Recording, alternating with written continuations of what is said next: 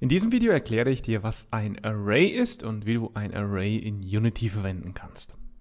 Ein Array ähnelt einer Variable, aber erlaubt es, mehrere Informationen desselben Datentyps zu speichern. Erstelle also dein erstes Array mit folgender Struktur. Ich habe hier ein neues Skript erstellt und mit folgender Struktur kannst du ein Array anlegen. Ich mache das wieder als Kommentar erst einmal, um das zu zeigen. Datentyp, eckige Klammer auf, eckige Klammer zu und dann der Variablenname. Im Vergleich zu einer Variable aus dem ersten Video, da siehst du auch, eine Variable hatte hier Datentyp, Variablenname und dann die Zuweisung des Wertes, beziehungsweise es ging ja auch Datentyp und dann Variablenname. Hier haben wir jetzt Datentyp, eckige Klammer auf, eckige Klammer zu. Und mit diesen beiden Klammern weist du darauf hin, dass wir hier ein Array erstellen. Wie sieht das jetzt in einem Script aus? Gut, hier vor dem Datentyp hätten wir noch den Modifier, wie beispielsweise Public oder Private. Also machen wir das einmal Public String. Wir nehmen jetzt den Datentyp Zeichenkette. Hier der Hinweis auf ein Array, auf diese Datenstruktur und dann ein Variablen-Name, der ist ja beliebig. Dann nehme ich jetzt einmal Names und hier speichere ich dann verschiedene Namen ab. Das reicht dann auch schon einmal. Wir haben hier eine neue Zeile. Wir haben dadurch jetzt ein Array erstellt. In diesem Array, in diesem Datentyp können wir verschiedene Zeichenketten abspeichern und dieses Array heißt Names. Wenn du jetzt dieses Skript nimmst und du weißt dieses Skript einem Game-Object in deiner Szene hierzu, also hier in meiner Hierarchie habe ich das Scripts Game Object und diesem weise ich das, was ist ein Array Script, hier hinzu. Und jetzt siehst du auch direkt auf der rechten Seite bei mir im Inspektor, durch das Erstellen dieses Arrays in unserem Script, also durch diese Zeile, haben wir jetzt dafür gesorgt, dass wir hier bei diesem Game Object dieses Names hier haben. Sollte das bei dir nicht erscheinen, dann wieder daran denken, dass der Modifier hier auch auf Public gesetzt ist denn sonst ist das Ganze hier im Inspektor nicht sichtbar. Und jetzt kannst du auch im Unity Editor, da siehst du diese Zahl, also erst dieses Names hier aufklappen und dann Size 0. Das heißt, du kannst jetzt die Größe deines Datentyps, deines Arrays hier festlegen. Und dadurch musst du jetzt nicht alles in dein Skript schreiben. Also du müsstest jetzt nicht in deinem Skript die Größe definieren bzw. dann die Namen zuweisen. Geben wir hier einmal beispielsweise 4 ein, dann siehst du, du hast jetzt vier Elemente. Ganz wichtig hierbei, das Array beginnt immer bei 0. Also das erste Element ist die Zahl 0, Element 0, bis Element 3. Das heißt also, wenn du zum vierten Element in deinem Array möchtest, 1, 2, 3, 4, dann ist das das Element 3. Also das ist ein viertes Element, weil wir ja Element 0 hier haben. Also darauf bitte immer aufpassen. Und jetzt hast du hier die Möglichkeit, die Elemente selbst direkt zuweisen. Also du könntest hier verschiedene Namen dann eingeben. Das bedeutet für dich hier, das Anlegen eines Arrays ist dadurch interaktiver, denn du kannst das direkt im Unity Inspector tun. Wie sieht das jetzt aus, wenn wir ein zweites Array direkt im Script anlegen möchten? Du könntest nämlich auch hier schreiben public string und dann hier Movies beispielsweise. Das hier wäre jetzt der gleiche Eintrag wie Names vom Aufbau her. Das heißt, wenn sich das Skript hier aktualisiert, dann wirst du auch sehen, dass wir hier eine zweite Variable haben. Du kannst aber jetzt die Größe direkt zu Beginn hier festlegen über dein Skript. Und das funktioniert mit einem is gleich, also einem Zuweisungsoperator. Und dann hier new, also hier der Datentyp und dann wieder die eckigen Klammern hier. Jetzt siehst du aber, wir haben zwar diesen Vorschlag bekommen, aber dieses New ist jetzt hier rot markiert. Und das liegt daran, weil wir keine Größe festgelegt haben. Wir müssen hier in diese eckige Klammer, da müssen wir die Größe des Arrays festlegen. Wir hatten ja hier bei Names 4, das machen wir jetzt bei Movies auch einmal, 4. Ganz wichtig dabei, wenn du deinen Array hier im Script anlegst mit der Größe und dann auch die Einträge zuweist, dann das Ganze bitte nicht auf Public stellen, denn sonst kann es zur Verwirrung kommen, denn dann hast du diesen Wert nämlich im Inspektor und wenn du hier etwas änderst, dann werden diese Werte deine Werte hier im Skript überschreiben. Das nur als kleiner Tipp am Rande. Wie kannst du aber jetzt einen dieser Namen, die wir hier abgespeichert haben, sind wir ja hier, Element 0, Element 1, denn genau für diese Funktion verwenden wir ja eine Datenstruktur wie die Arrays. Wir möchten vom selben Typen mehrere Informationen abspeichern und die dann auch später aufrufen bzw. auslesen können. Wie kannst du aber jetzt innerhalb deines Scripts einen Wert zuweisen? Also hier bei Movies, das ist aktuell noch leer. Wie könnten wir jetzt hier an der Stelle 0, am Element 0, einen Wert zuweisen? Das geht über Variablen Name deines Arrays, dann die Stelle ist gleich und dann den Wert. Gleich wird das Ganze klarer. Variablen Name wäre jetzt beispielsweise für Movies hier. Movies. Dann haben wir die Klammer auf hier, eckig. Und die Stelle. Mit Stelle ist nur das Element gemeint. Gleiches haben wir hier auch beim Namen, also bei Names, Element 0, 1, 2, 3.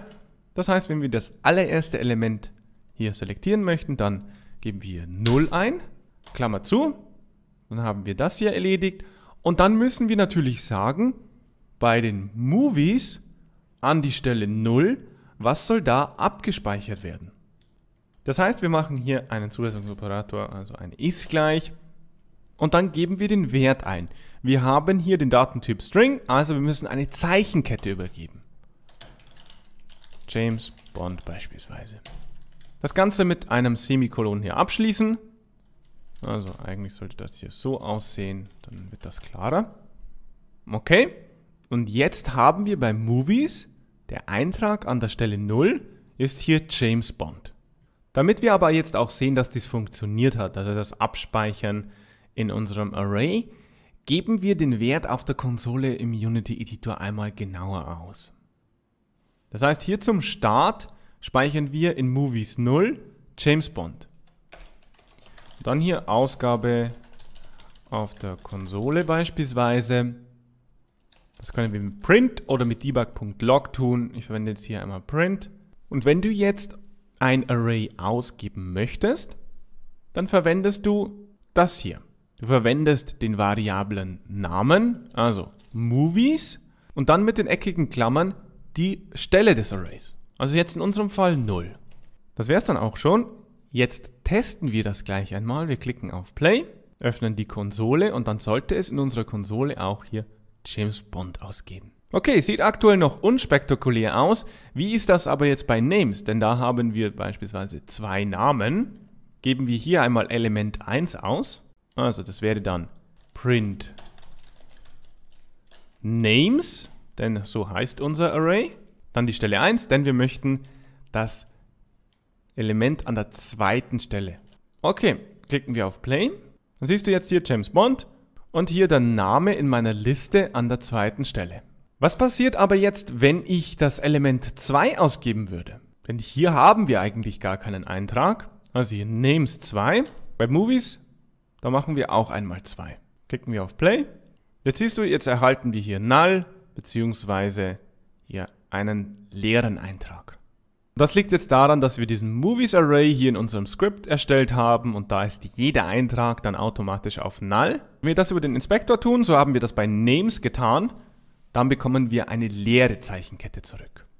Ganz wichtig, beim Erstellen des Arrays sollte dir klar sein, wie viele Stellen du benötigst, also wie viele Einträge du abspeichern möchtest. Denn Arrays sind bezüglich der Größe unveränderbar. Also du könntest jetzt hier nicht eine Liste mit Movies erstellen und dann sagen, okay, die Liste hat vier Einträge. Und dann merkst du im nächsten Schritt, okay, ich benötige hier eigentlich zehn und dann änderst du hier einfach die Größe. Das funktioniert nicht. Du müsstest ein neues Array erstellen und die Einträge des alten Array in das neue kopieren. Jetzt habe ich hier gesagt, wenn wir vier Einträge erstellt haben und das zuweisen möchten, dann verwenden wir diese Schreibweise. Das heißt für dich, wenn du jetzt hier vier Filme abspeichern möchtest über dein Script, müsstest du quasi immer hier Variablenname Stelle ist gleich und dann den Wert hier zuweisen. Es gibt aber noch eine andere Schreibweise. Du kannst dir nämlich du kannst dir nämlich eine Zeichenkette hier erstellen als Array und dann beispielsweise ja, machen wir hier einmal Pokémon. Was wir jetzt hier tun werden, wir schreiben zwar New String, Klammer auf, Klammer zu, also hier die eckigen Klammern, aber wir schreiben hier keine Zahl hinein.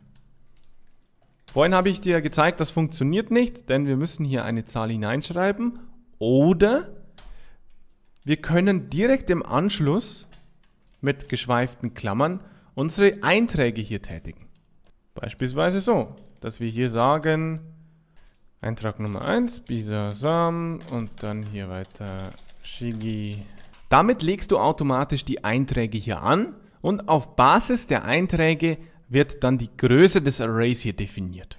Ob du das Ganze jetzt so schreibst, dass die geschweiften Klammern hier dieser Struktur sind oder alles in einer Zeile, das bleibt letztendlich äh, dann dir überlassen. Also du könntest das hier auch so schreiben. Wenn es nicht so viele Einträge sind, dann macht das vielleicht auch Sinn, diese direkt hier in einer Zeile zu schreiben. Aber damit funktioniert das Ganze jetzt auch. Also hier den Strichpunkt, das Semikolon natürlich nicht vergessen. Jetzt könntest du dir hier unten beispielsweise das dritte Element ausgeben. Das dritte Element ist Stelle 2, denn wir starten ja bei 0, 0, 1, 2. Okay, klicken wir auf Play, dann sollten wir hier in der dritten Zeile auch Pikachu zurückbekommen. Perfekt, das hat funktioniert. Wenn du jetzt bei einem bestimmten Array die Länge zurückbekommen möchtest, also wirklich die Anzahl der Einträge hier, dann kannst du schreiben Array-Name Punkt Length. Siehst du hier? Damit kannst du dir die Länge ausgeben. Damit das jetzt übersichtlicher bleibt, füge ich hier noch eine Zeichenkette hinzu. Und zwar Länge des Arrays beispielsweise.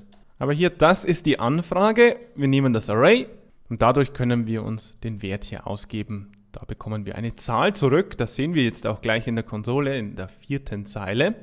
Länge des Arrays ist hier 3. Und das liegt daran, weil wir ja hier drei Einträge haben. Würde ich jetzt hier ein Pokémon löschen, so, klicke auf Play. Dann siehst du jetzt hier nicht die Länge des Arrays, du siehst hier eine Fehlermeldung. Und der Grund hierfür ist, dass wir mit unserem Script auf Pokémon an der Stelle 2, also das zweite Element, auf das greifen wir zu. Und wir haben hier nur Element 0, Element 1. Das heißt, du musst also aufpassen, dass du nicht die Länge des Arrays hier überschreitest mit dem Zugriff. Vorhin habe ich dir ja bereits gezeigt, du kannst auf Stellen des Arrays zugreifen, die leer sind. Das ist in Ordnung. Aber hier können wir nicht auf eine Stelle zugreifen, auf ein Element zugreifen, das die Länge quasi überschreitet. Okay, klicken wir jetzt auf Play, dann sollten wir auch als Rückmeldung hier in Zeile 3 Länge des Arrays 2 hier zurückbekommen. Perfekt. Und mit dieser Länge des Arrays könntest du jetzt beispielsweise auch sagen, ich möchte das letzte Element hier ausgegeben bekommen. Dadurch ist das Ganze variabel und du stößt hier auch nicht auf Fehler.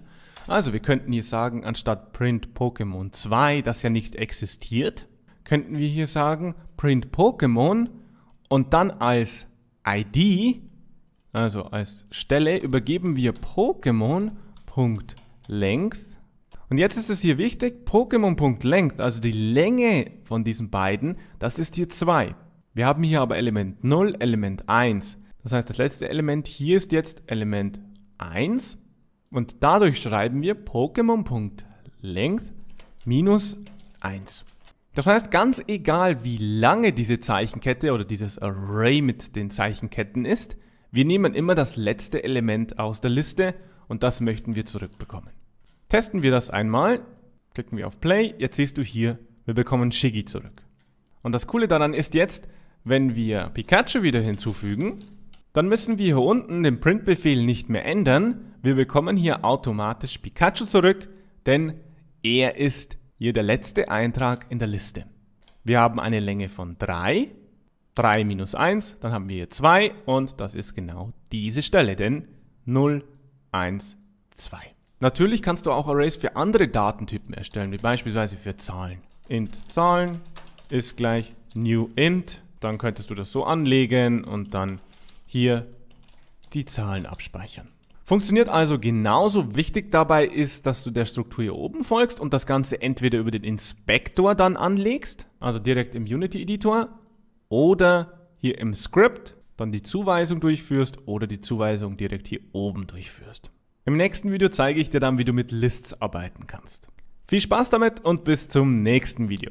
Ciao!